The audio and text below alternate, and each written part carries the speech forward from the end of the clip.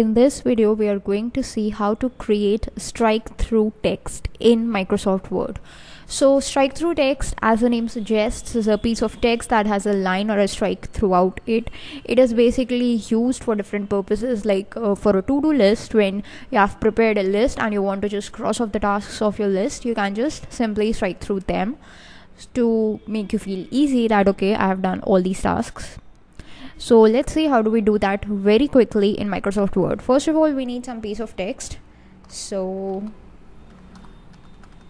let's just write some text. This text is not needed anymore. Let's just go with it.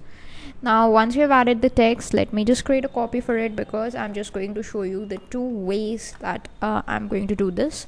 So first of all, you just need to select the text. In the home tab, you have this font group and here is this option of a strike through. You can simply just click on it and the text would be stricken by a single line. Right?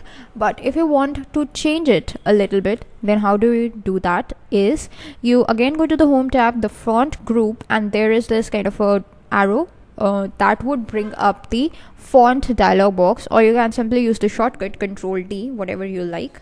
So let's just click over here and here in the font options you see there are these effects. So there is a strike through effect that's present. If you just click over it so you would see a sample. That is how your text will look when it's stricken through. If you want you can just click on the double strike through right?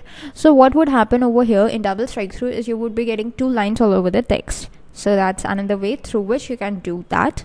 Then you can click on ok so what would happen is now this text is struck by two lines. So these are the two ways through which you can strike through a text in word. That's all for this video. Thanks for watching